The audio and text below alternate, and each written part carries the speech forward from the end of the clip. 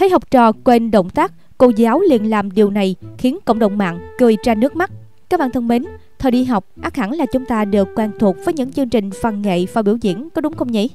Và cứ mỗi lần như thế thì sẽ có những người đứng bên dưới sân khấu chăm chút nhìn học sinh và nhắc bài.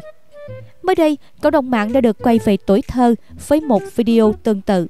Cô giáo ở phía dưới quan sát học sinh tham gia thi múa. Cơ mà cô sợ các em quên bài, cho nên cuối cùng là múa làm mẫu cho các em.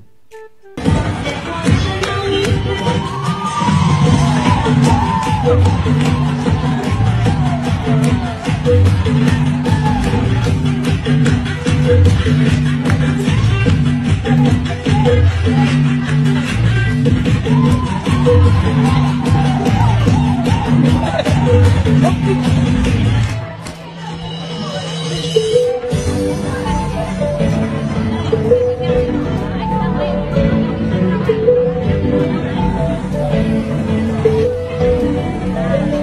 xem mà chỉ sợ cô giật cùi trỏ sang người bên cạnh.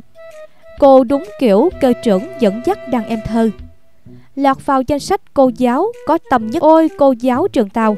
Các bạn nghĩ sao về cô giáo có tầm nhất hệ mặt trời này? Để làm một bình luận bên dưới cho chúng tôi được biết nhé.